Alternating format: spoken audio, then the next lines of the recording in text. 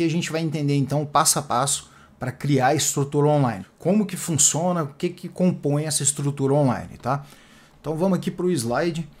Primeira coisa que a gente tem na estrutura, né, para ter um domínio, um site no ar, a gente precisa de uma hospedagem. A hospedagem de site é o servidor, é onde o seu domínio vai estar tá hospedado para que o seu domínio fique no ar. O domínio é o nome do seu site. A hospedagem o servidor que vai fazer com que esse domínio apareça no mecanismo de pesquisa ou quando você acessa direto no navegador, tá? Então, por exemplo, a gente tem hoje, eu uso a HostGator, né? Você tem várias hospedagens, mas aí eu vou dar esse exemplo aqui. Eu tenho a HostGator e o meu domínio está aqui dentro da HostGator.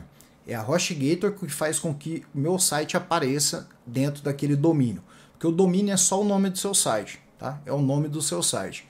E para esse site apresentar os conteúdos, ele precisa estar tá hospedado em uma hospedagem. Lá na hospedagem, eles têm computadores que os seus conteúdos ficam armazenados dentro desse computador. Então, se uma pessoa, eu estou aqui em Goiânia, né? Se uma pessoa acessa meu site lá no Rio de Janeiro, ele vai digita no navegador dele, alvaromendonça.com. Eu preciso ter um lugar aqui, um computador que vai direcionar o meu conteúdo para ele. Então, eu tenho imagens no meu domínio, né? Eu tenho conteúdos, ele precisa estar tá num, num HD aqui, num computador para ser exibido para esse usuário, tá? Então, isso é o papel da hospedagem, é fazer com que o usuário consiga ver o conteúdo do site, do seu domínio. Né? Então, aqui dentro da hospedagem a gente tem o domínio. Dentro do domínio, né, que é o nome do nosso site, a gente tem o WordPress. O WordPress é onde a gente vai criar o nosso site, tá? Então, o WordPress é um gerenciador de conteúdo, é um CMS que a gente chama, um gerenciador de conteúdo e, e, e é, um, é, um, sistema de gerenciador de conteúdo, tá? E é nele que a gente publica os conteúdos, que a gente cria as páginas no nosso domínio, nesse domínio que está na hospedagem. Então você pode ver por isso que um está dentro do outro, né? Então hospedagem, a gente tem hospedagem, que é o principal aqui, o domínio está dentro da hospedagem e o WordPress é o nosso gerenciador de conteúdo que a gente cria os conteúdos. Dentro do WordPress, então a gente tem o layout, né, que é aquele visual do site, que é o tema do WordPress layout, o tema é como que é o seu site, como que é o visual do seu site. A gente instala ou cria também isso dentro do WordPress. Os plugins, os plugins são softwares, são programinhas ali dentro do WordPress que a gente usa eles para eles ativarem funções no nosso site. Então, por exemplo, eu quero colocar no cantinho do meu site ali um botão das redes sociais minhas para a pessoa clicar e acessar. Eu uso um plugin que faz isso. Eu quero, por exemplo, tornar o meu site mais rápido. Eu uso um plugin que faz isso também. Eu quero, por exemplo, melhorar as imagens do meu site. Eu uso um plugin também que faz isso. Os plugins funcionam para forma visual, tá? Para otimizar o site, para melhorar posições de ícones. Então tem plugins para quase tudo.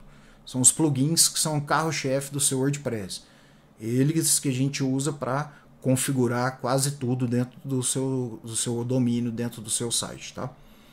E aí dentro do WordPress também a gente tem o que? A gente tem os posts, né, que são os conteúdos que a gente vai criar na nossa estrutura.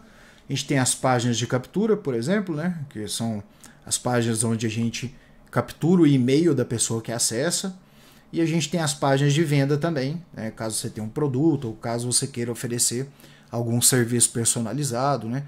páginas de venda ali, páginas de contato também, né, páginas sobre. Isso aqui é só um exemplo, né? Só todas as páginas do seu site vai estar dentro do WordPress, que está dentro do domínio, que está dentro da hospedagem, tá? Então é tudo isso aqui, essa parte estrutural mesmo do seu site, tá? Para ele rodar. Isso aqui compõe toda essa estrutura do seu domínio. E aí um outro pilar da nossa estrutura é o que? O e-mail marketing. No e-mail marketing, né, o e-mail marketing o que, que é? É uma forma de fazer marketing através de e-mail. Então a gente usa uma ferramenta que a gente vai incorporar essa ferramenta no nosso WordPress, no nosso domínio, né, para colocar aquele campo ali e tornar possível a pessoa digitar o e-mail. Então, por exemplo, página de captura.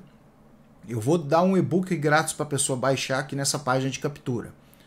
Lá ela tem que digitar o e-mail para baixar né, esse e-book. Ali, para aparecer aquele campinho de e-mail, aquele campo onde ela digita, é o e-mail marketing que vai estar tá aqui nessa página de captura. ela colocou aqui o e-mail, ele, o e-mail dela vai para uma lista de contatos que a gente tem aqui configurada no e-mail marketing. Então a gente tem dentro do e-mail marketing a isca digital, que a gente chama o material rico, que é o que a gente dá de graça para a pessoa em troca do e-mail dela. É o que a gente vai sempre usar nas páginas de captura.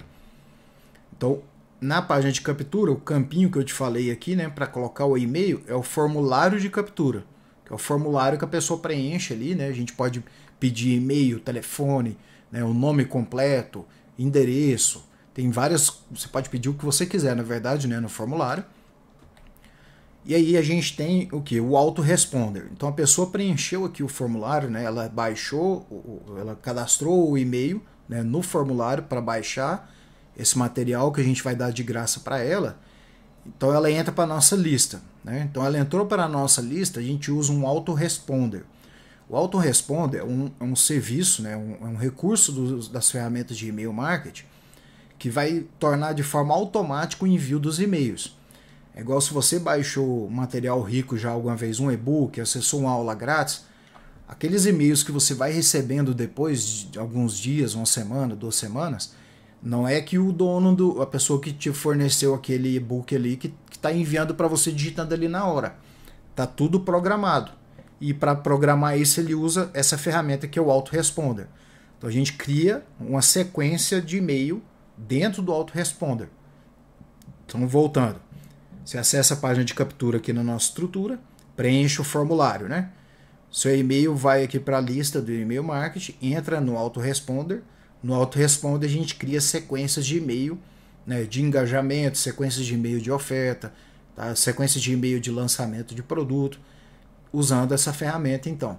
Então é mais um recurso muito interessante né, da estrutura que você deixa tudo no automático.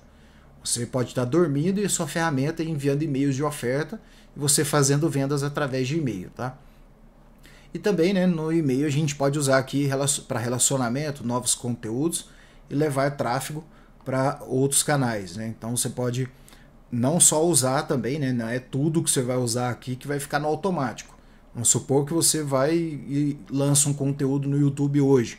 Você quer avisar a sua lista, você vai no seu e-mail marketing, digita lá, olha pessoal, novo conteúdo aqui, o vídeo que eu falo sobre isso, tal, tal, tal. Clica aqui para assistir, né? Levar tráfego para outros canais. Ó, oh, você ainda você já me segue no Instagram? Ainda não? Lá eu também posto conteúdos, me segue lá relacionamento, é, passar conteúdo, né, fazer perguntas para sua lista. O que, que você gostaria de receber aqui no e-mail? Qual a sua principal dúvida sobre tal assunto? Né, gerar relacionamento com a lista. Então, essa aqui é a estrutura que você vai usar. É isso aqui, tá?